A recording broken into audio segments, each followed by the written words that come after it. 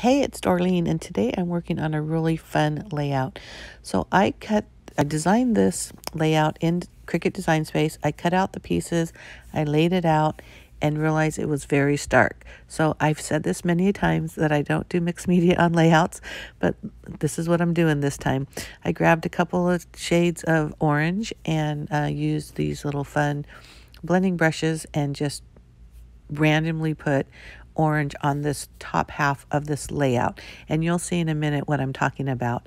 But then I also grabbed this pewter gray um, ink and did the same thing. Now, this is actually a baseball layout, and that's why I felt the need to grunge it up a little bit. The colors of our favorite MLB team are black and yellow. Oh my goodness, black and orange. so that is why I chose the orange and also the dark gray versus a black. I thought the black would just be too, too much. But, um, Again, I'm just um, inking up this, or grunging up this layout. I will ink up the stars. I cut six of them, so three I did in the orange and three in the gray.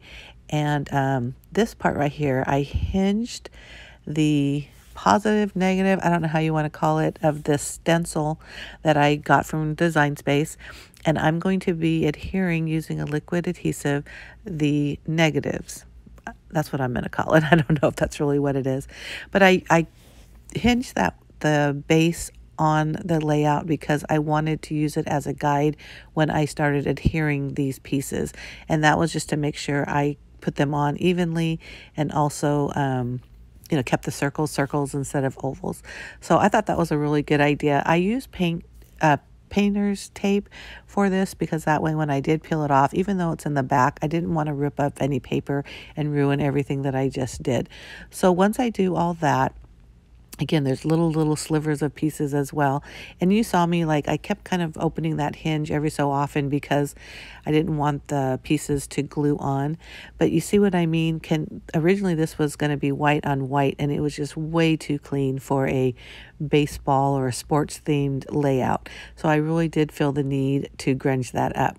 So um, once I remove all this and don't worry I will use those pieces for something. I will not toss those. But um, and then I um, cut out these baseballs orange and black. Again some orange with black some black with orange.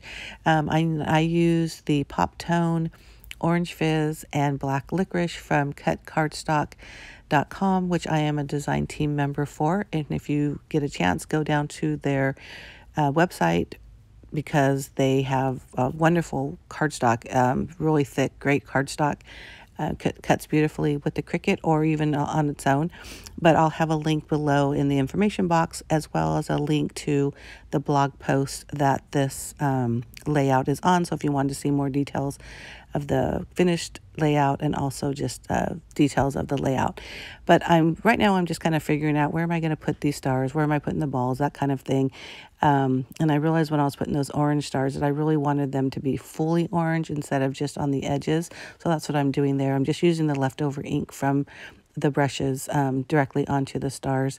But um, I just, so far, like I said, I'm just loving this layout. So we really love baseball in our family and this is from 2021.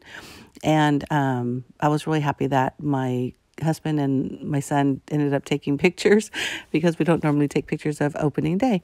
But anyhow, I hope you like this. I like the way it looks, so then I'm going to adhere everything down. I ended up putting some orange and black splatter over the top of all that because I just wanted to add extra um, kind of fun to it, a little bit more grunge to it. Before I put the title down, I realized I did want a little bit of ink there to kind of just have a base for it. And I just used orange, what was left again on the, the brush. And um, you can see that it just made a huge difference than just plopping it down on just pure white. But I hopefully you like this video. And if you do, please give me a thumbs up. Make sure you hit that subscribe button down below if you're not already a subscriber. You can go to my blog to get more details. I post at least two videos a week week. One will always be scrapbooking, and one will be whatever it is I'm creating in the command center. And that is the name of my blog as well as my craft room.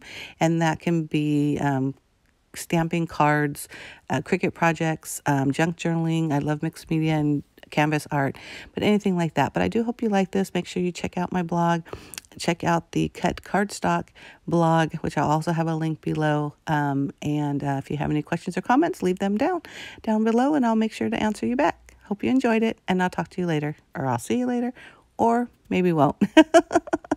All right.